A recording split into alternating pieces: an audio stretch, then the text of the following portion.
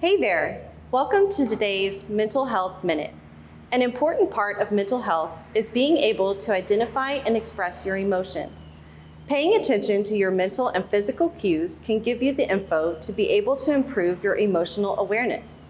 Once you are able to name your emotions, you can then take steps to manage them.